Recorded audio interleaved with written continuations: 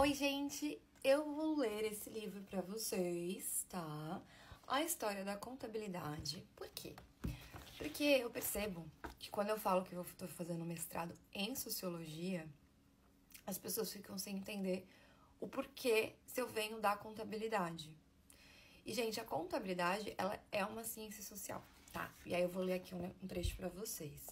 A contabilidade tem vivido nos últimos anos uma revolução em termos de sua história, visto que recentes trabalhos arqueológicos encontraram vestígio da utilização de sistemas contábeis na pré-história durante o período mesolítico. Gente, pré-história é a era que o homem não tinha a linguagem.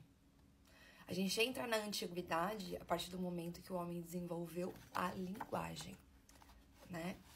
Então, pré-história, na pré-história ainda não havia, né, letras e nem números, mas havia contabilidade. Então, é uma ciência social. Por quê?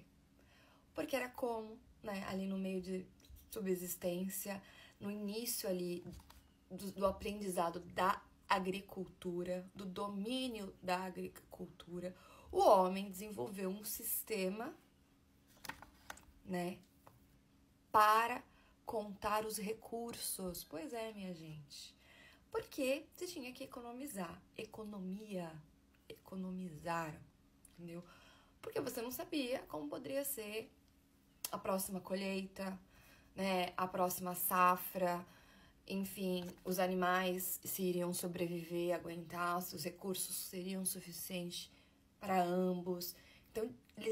Desenvolveram um sistema para contar, saber exatamente o quanto de recursos eles tinham, né? E se seria suficiente ou não para passar um, um inverno rigoroso. Então, essa, né, ao meu ver, é a lógica e literária que eu desenvolvi em cima desse conhecimento que eu adquiri com esse livro. Então, é mais ou menos assim que eu trabalho.